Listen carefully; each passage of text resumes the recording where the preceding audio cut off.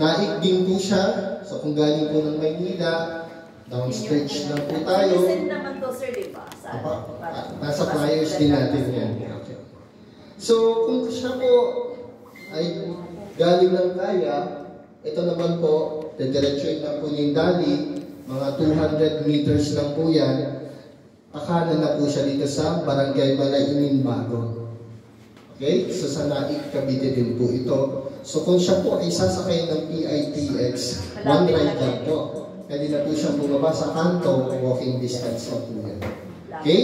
So, pero ang sasakyan po niya, yung signage po ng bus, ay going to Maragondon, Ternate. Eh, pag naig lang po hanggang Jollibee lang yun, naka-tricycle pa siya. Apo, Maragondon or Saka Ternate. Ganun din lang po. Okay, may, medyo may kalakihan po ito. 31.4 hectares. Okay, so 3,345 units. So kanina po, ilan na lang po ito? 2,900. Okay, so very fresh po itong project na ito. So, may future expansion pa po yan kasi binibili pa namin yun dito. Ensure na yung harapan dito sa amin pa rin. Okay? Kaya pag nag-train kayo, makapokus nyo dyan, mag- marami po po siyang ibebenta dito kasi may mga binibili pa po kami. Okay? Okay, so una po namin nilaunch ito pong phase 1, 1,601. So pag ginalingan nyo po ngayong taon, eh, baka itong first quarter or second quarter, baka buksan na namin yung phase 2. Oh, so kung galingan nyo pa po ng gusto, ito na pong phase 3, yung malapit sa gate. Andito po yung gate. Mas taas-taas yan. 900 pa yung sa taas. 900. Ayan po. So, andyan po, tatlong phase po tayo dyan. Phase 1, phase 2, and phase 3. Hindi ko rin alam. Ah, pipicturean niyo po. Opo. Kasi para yung population. Magiging market. Phase 3, Phase 2. Ito po na yung Hindi ko na mag-picture. Sir. Ito sumapal. Hindi, mas malaki, mas marami yung sa phase 1.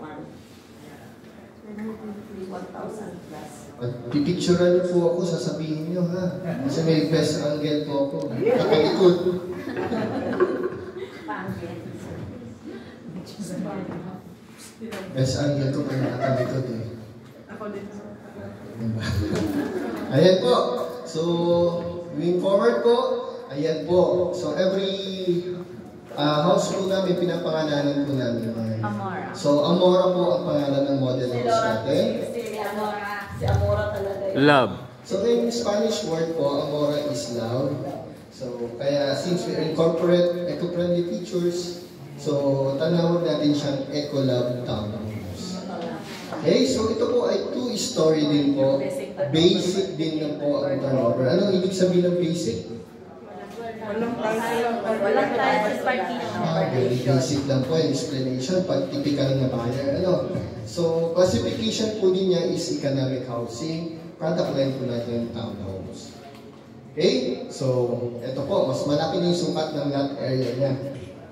So, floor area po, hindi po yan magbabago, 43 square, 43.75 to be exact. So, pwede nyo nang i-round off to 44. So, yung lot area po, karamihan po, pag inner unit ay 50 square meter. Pag end po, 75 square meter. so, ayan po. So, provision for one car garage na po. So, ganun po yan. Um, kung masyadong technical yung buyer, we can provide din po yung mga specification, floor plan. Sabihan niyo lang po kami pag kailangan niyo. Okay? So karamihan naman, typical Nasa lang. flyers naman yung sir. Okay, so may question ulit. Why you choose Laura Homes na? So lagi niyan yung mga tanong na it's the right time to properly present our projects. Okay. So dito po, pag present natin itong uh, project na ito, of course, meron din po ito hashtag SCQ. Ano po ibig sabihin nun?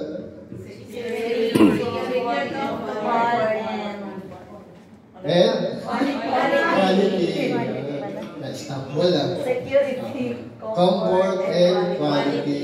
So pag na-explain niyo po yun, may chances na pong ma-close yung, palagi sabihin natin 50% yung convincing nun. So dagdagan pa natin. Aside from SCQ po, dito po sa Laura Homes na meron po kami bigger value plus savings. Okay, so ano-ano po ba yun? So, pag tinurn over po namin, yung bahay po sa inyo, may libre na po kayong door and window screen. Wala pong bayad yan. So, libre po yun. Okay?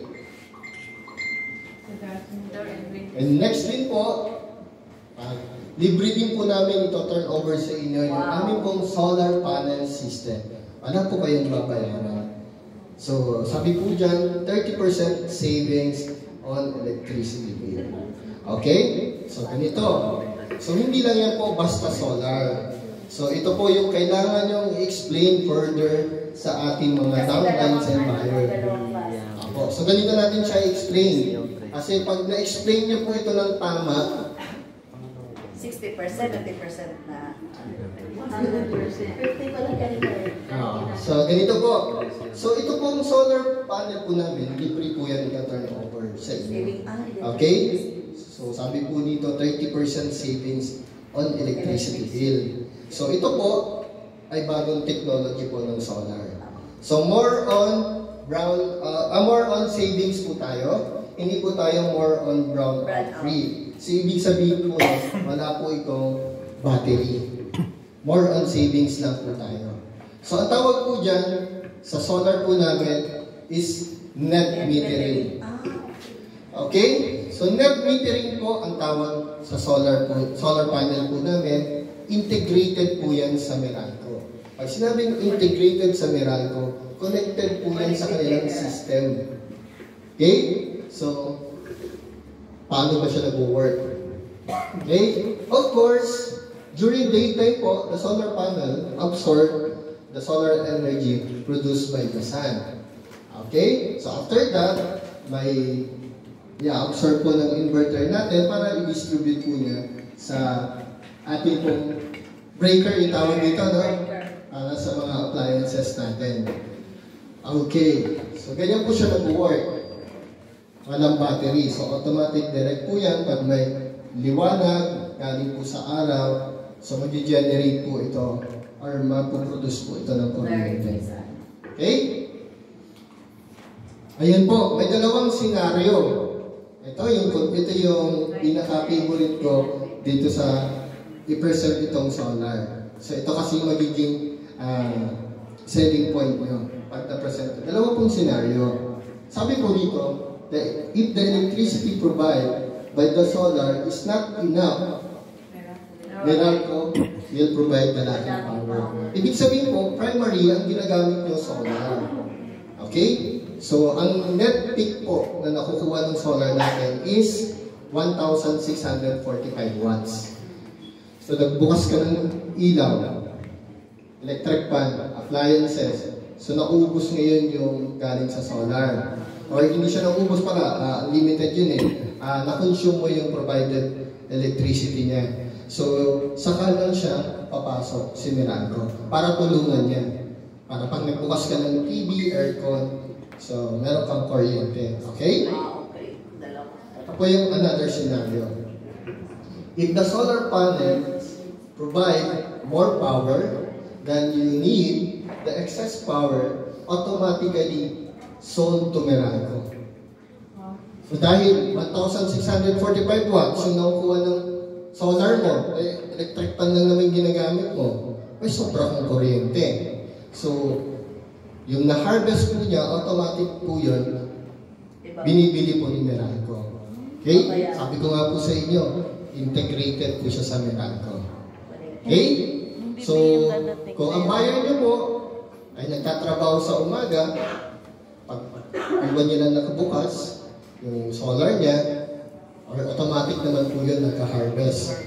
So, pagbalik niya sa gabi, libre na yung kuryente niya kasi nag-harvest ng Hmm, nagpondo na eh. pondo na siya. Okay? Parang yung nag-savings na po siya sa Merano.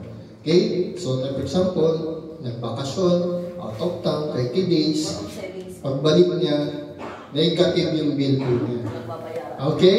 So, kaya po, um, possible po tayo dito mag-zero bill. Okay? So, ma mapapansin niya, naka-negative na yung billing niya, nakaibon siya, bawal lang po i-cash out, ha? Kailangan kailangan i-transfer sa Gcash. Paano pag maulan, sir? Pag maulan po, may, na, may nakukuha po kuryente. Yan nga po yung challenge ko sa inyo. Pumunta kayo sa model house namin habang umuulan. Tingnan niyo po yung aming Nagkaganyan. solar. May nakukuha po siya uh, almost 40 to 50 percent ng uh, capacity po niya. So basta may liwanag po. Basta may liwanag. Mm. May na-absorb po siya. Pag may liwanag, Okay? Alam so, na. ito pong dalawang senaryo, ipaliwanag niyo yan. sa Yan, no? Okay, pag so, Liwanag. Tayo malakas gumamit ng kuryente, bibenta po natin sa net. Automatic po, binabayaran po tayo ng nato. Ah. Dahil binibili po niya. Paano kung wala sa solar araw? Okay, so, syempre, kung gabi na, wala ng araw, so, pure Meralco na po yung gagamitin natin.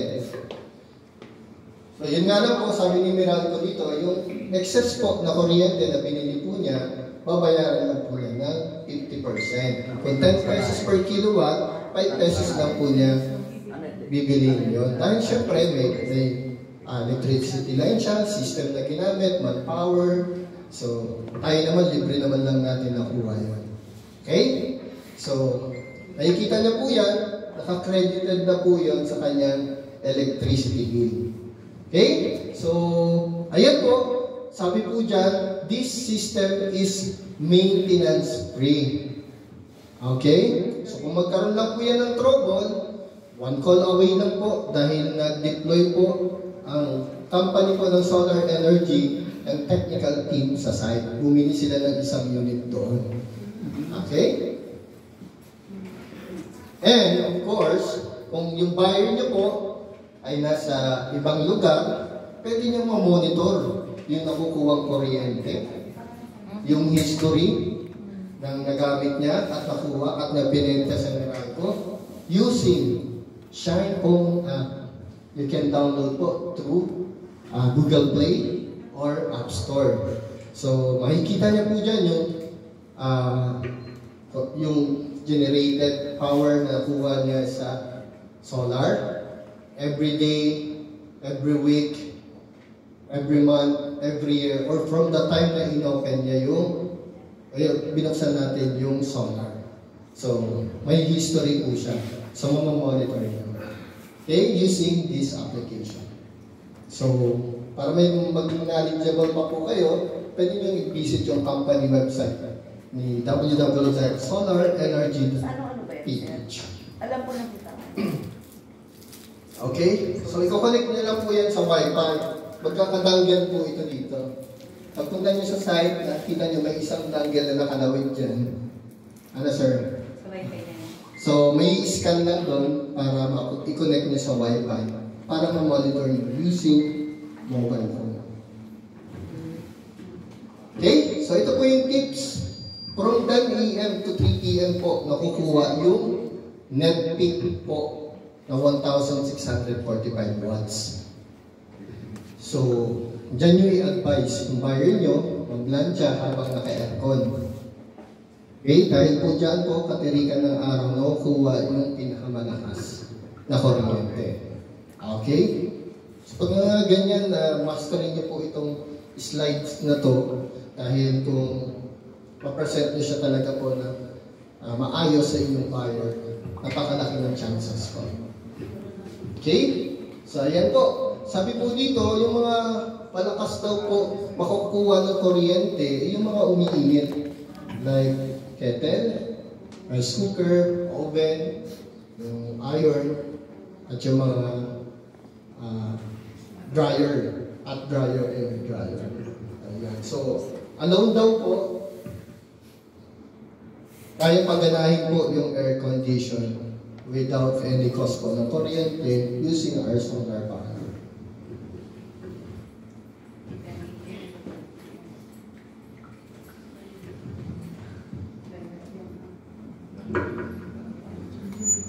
Okay, kaya po, pwede po kayo dito maging zero bill, possible. Okay? So maganda po ba yung features na yun? Okay, so Maganda sir. libre po yun, ito turn over sa buyer nyo. Maganda Wala na sa picture. nilalabas na singkong galing. Sir, Alam mo yung pre-maintenance ng solar, lifetime na. Apo, lifetime po yan. Kung magkaroon nga po ng trouble, error, may technical team naman po yan. Siyempre, it's a man-made po. Nasisira din po. Talaga. Okay? Meron po, one call away lang po. Um, hindi ko na po masagot ngayon, pero nung nagkaroon po ng meeting po dyan, may charges po talaga eh, pag nagkaroon ng problem. Pero siyempre, company to company nag-uusap, minimum, mga minimal charges lang daw po. Yung ibibigay po. Mas mababa sa regular rate. Magkakaroon ng designated na mag-PPM dyan sir. Ako, may... Preventive ah, maintenance. May mag-a-assign po ang company po nito. Mm. Actually, bumili na po sila ng isang unit sa so, sa Yora para po maging opisina po nila. Halimbawa, sir, yung bukong na pinagpatungan ng solar is magkaroon ng tulog, hindi nang maiwasan na sila na rin gagawa. no? Ah, with, ano po, with our engineer po. So, magtutulungan po sila. Antibiotic lang. Antibiotic. Oh, may tulog. Galing, magaling. Ah, may brand yan eh. Ah, ang mga ganyan, nabubuhayan kayo eh. Magpapuhay lang yun. So dalawang water tank po yung ibibigay natin. Libre na naman po. So rainwater and fresh water tank. So kanina po, ilang liters sa Kayo Homes? 500. Dito po, 700 liters Mas malaki, mas malaki. 200 yung lalagay po natin. And then 500 liters po for fresh water. So dalawa po yan, libre po namin ibibigay po. Ilang gallons yan sir? Ano po, 700 liters, sir? Ah, ano, sir? 700 gallons din per liter. 500 po By three. fresh water. Fresh water, 500. Yung By rain three. Depende sa akin ng galing sa amin. Solar nyo, mga ilang Ilitas years? naman yung pagkain. Lifetime din po yan, ma'am. Kung masira din po, may technical support. Mga 23. Point something. Ah, per day. 23 gallons. Paligudo yung solar. Okay? Tasan ka. So, lahat ng nabanggit kong yan, 2,165,400. Okay. So, here is the computation po. So, for inner unit, 50 square meter, 8% po ang down payment natin, 12,000 po ang reservation fee. So, may RF po na po tayo dyan. 10 units RFO, 20 units ongoing construction. So, pwede nyo po pagpilian kung nagmamadali buyer po. Okay? So, ganun lang ulit. Katulad ng Kaya Homes kung paano po siya pinompute. So, dito na po, yung wala po ulit moving fee ha. Dahil si buyer po yung mag apply po ng water and electric. Don't worry po. Kung busy po yung buyer we can give po a contact person po na mag-assist po sa inyong buyer. So, pati yung mga requirements po na kailangan, intact na po.